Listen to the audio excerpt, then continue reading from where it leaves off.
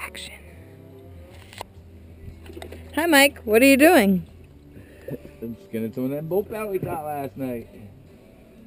Here in the heart of Vermont, we uh, went bull pout fishing last night. And nailed them pretty good. Got about two pails apiece. We uh, it was a slow start, but a lot of people don't like catching them because they don't know how to skin them.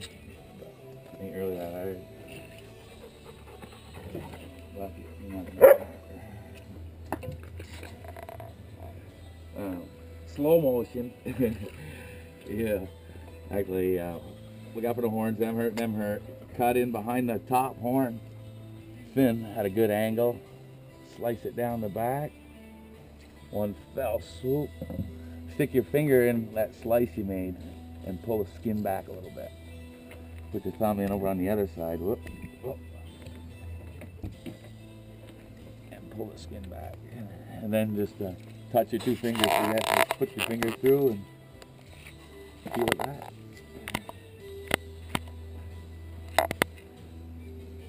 Yeah. We'll do another one. Yeah, nice pout. Uh, All good size. Easy. Cut in behind the fin. Down the back. Pull the skin back. I angled that one a little too far.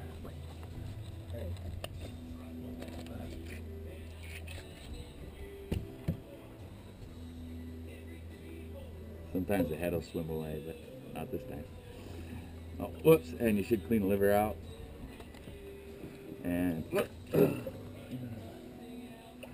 and cut the uh, cut the ribs too.